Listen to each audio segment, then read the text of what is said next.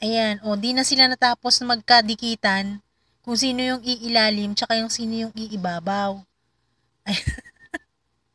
Kanina pa sila, hindi na sila natapos. O yung isa na naman gusto niya, ayaw niya na sa ilalim. Kasi nadadaganan siya, ayaw niya rin sa ilalim. yung mababaw na na.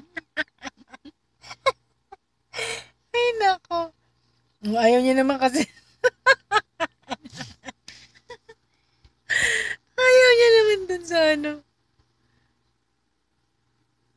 Oh. Ayaw niya talaga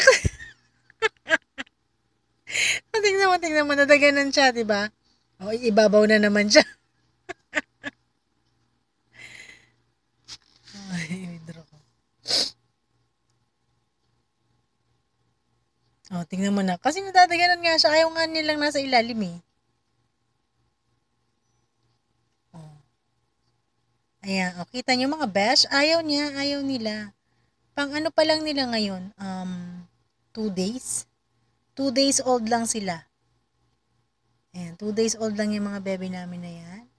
Si Kuting, wala pa silang pangalan kasi nag-iisip pa. Dahil yung anak ni... Ah, nakapag... May pangalan na ka. May pangalan ka na. Si Blossom? Si Bubbles. Aba! Power Pop! Mga Power Pop pala to eh. Ayan. Mamaya tignan naman natin yung anak ni Mocha. Ito anak to ni Blue. Mga anak to ni Blue. Ayan. Ayan. Gustong gusto nila kasi dito sa aparador ni Papa nila eh. Kaya ayan. O ayan, nagkaintindihan na sila.